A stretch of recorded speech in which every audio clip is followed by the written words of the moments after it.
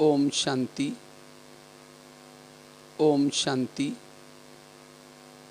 ओम शांति। इसके साथ साथ M Q M Q means moral values नैतिक क्षमता। अभी कुछ दिन पहले मैं एक स्कूल में गया था, एक दसवीं कक्षा की बच्ची थी, जिसका बोर्ड में फ़र्स्ट नंबर आया।